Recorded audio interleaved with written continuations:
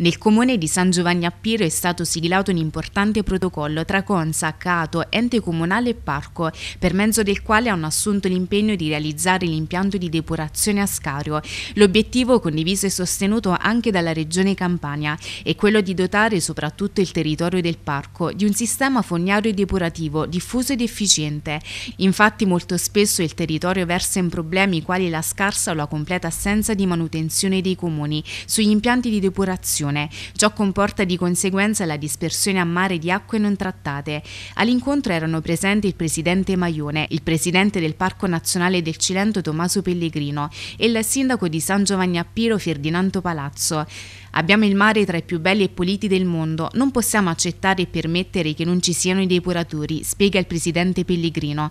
L'avvio di questo importante percorso è possibile grazie a un sindaco, Ferdinando Palazzo, e ad un'amministrazione lungimirante, sensibile e di spessore, grazie al CONSAC guidata da un presidente, Gennaro Maione, capace e concreto, alla provincia di Salerno con il presidente Canfora e il consigliere Pasquale Sorrentino, al quale opportunamente è stata conferita la delega all'ambiente, grazie alla Regione Campania con il presidente De Luca e il vicepresidente Bonavitacola, che hanno posto la depurazione, conclude Pellegrino, tra le priorità degli interventi da realizzare.